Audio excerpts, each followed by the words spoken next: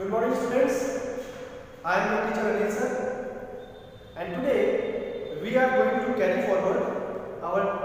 chapter tense. Today we are going to deal with the past tense and the two parts of the past tense. We know that the past tense has four parts. The simple past, past continuous, past perfect and past perfect continuous. But today we are going to deal with only two types of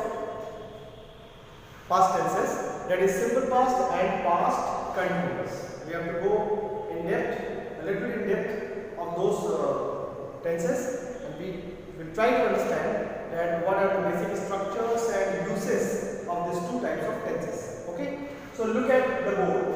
As you can see here that past tense, the first type of past tense is simple past tense. Now students, what does you mean by a simple past tense? Students, simple past tense has always the verb's second form as its symbol. In simple past tense, you will find always a second form of the verb. This is a very clear sign to understand that a particular tense or a particular sentence is in the simple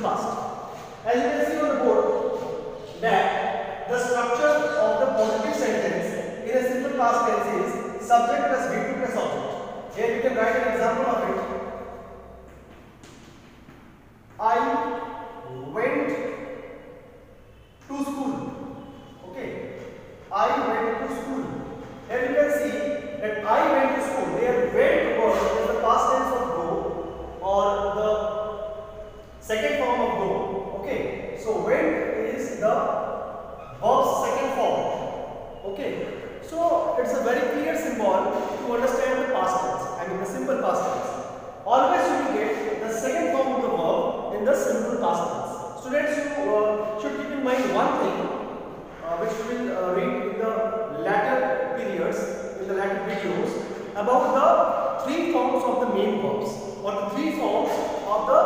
most common verbs used in English grammar. बच्चों, आपको याद करना पड़ेगा, आपको learn करना पड़ेगा the three forms of the most commonly used verbs in English grammar जो हम लोग आगे इस वीडियो में करेंगे okay so the past tense I mean simple past tense of the word go is went and the third form is gone okay so here went is the second form of the verb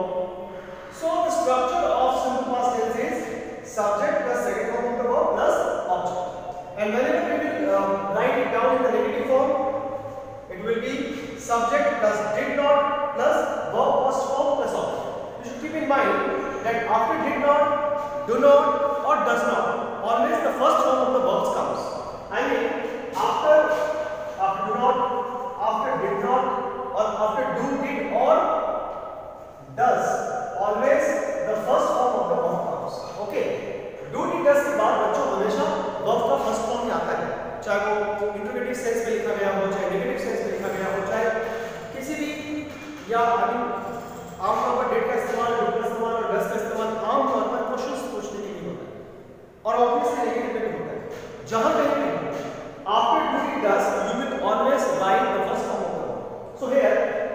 the sentence will be changed into negative as I did not go to school okay and when this sentence will be transferred to the interrogative one it will be like did plus subject plus verb plus form plus object the answer will be did i go to school and then you have to write the question so student this is the basic structure of the simple tense now the most important part let's read about or let's understand about the uses of the simple tense this is the most important part uses uses आपको ठीक से समझना होगा because मैं बार बार बोल रहा हूँ ज़्यादातर बच्चे यूसेज को ठीक से नहीं समझते हैं या समझना नहीं चाहते हैं दैट्स द रीजन उनसे अगर थोड़ा सा भी in mind, please uh, pay attention towards the usage.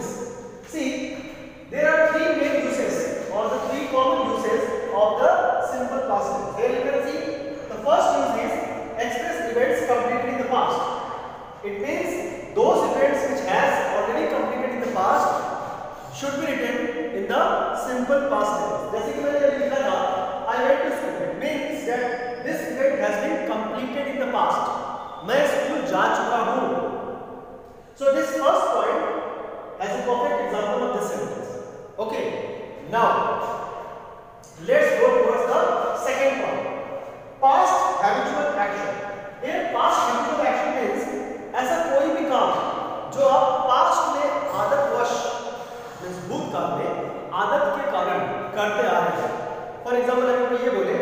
I drank alcohol in my early ऐसे कोई अगर बोलना चाहे। मैं अपने शुरुआती कुछ सालों में मतलब या पास्ट में, मैं अल्कोहल लेता था, या I use to smoke in the past ऐसे कई सेंटेंस हो सकते हैं। कोई भी past habitual action not necessarily uh, bad habitual actions it may be good habitual actions means i used to climb on the tree in my childhood okay i used to climb in the tree in my childhood yahan pe used to word jo aaya hai used used kya hai used ka second form hai तो I used to climb on the tree in the childhood this is also a type of habitual action ये sentence हम यहाँ लिख सकते हैं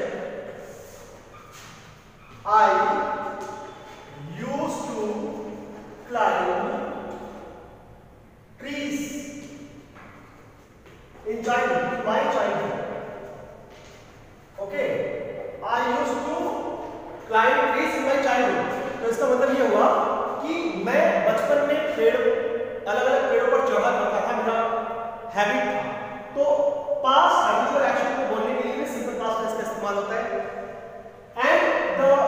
last but not the least use is action lasting for a period of time in the past कोई भी ऐसा काम जो पास्ट में कुछ समय तक चला हो कुछ समय तक चला हो जैसे I I learn Spanish for three months I learn Spanish for three months अगर ये सेंटेंस बोले मैं यहाँ पर लिख देता हूँ सेंटेंस को एक एग्ज़ाम्पल को कि थर्ड वाला example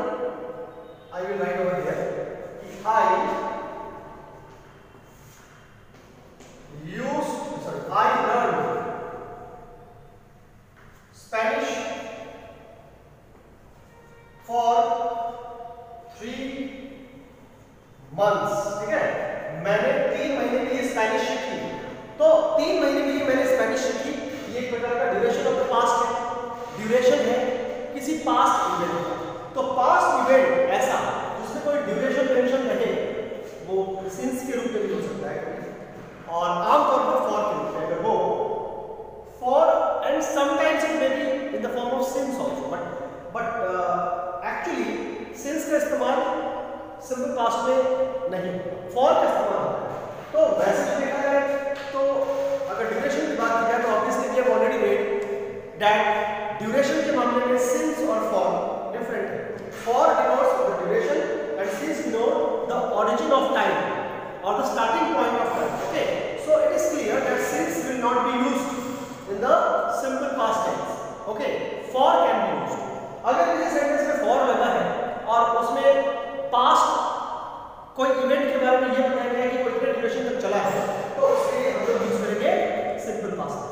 So I hope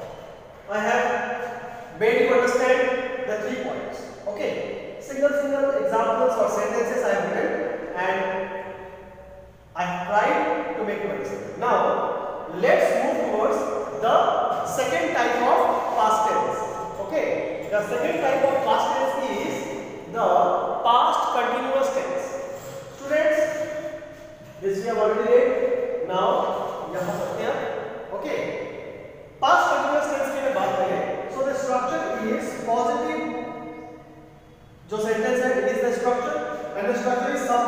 बासवर plus V plus I H plus on example देख लो. She was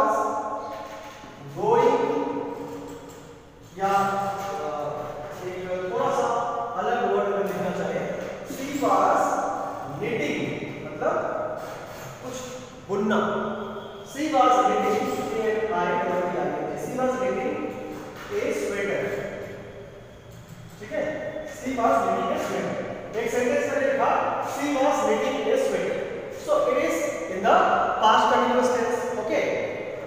now you can see that the negative form of past continuous tense is subject plus was verb was or were plus not plus v1 plus ing plus object so the sentence will be written as she was not knitting the sweater or a sweater. Now the interrogative form will be was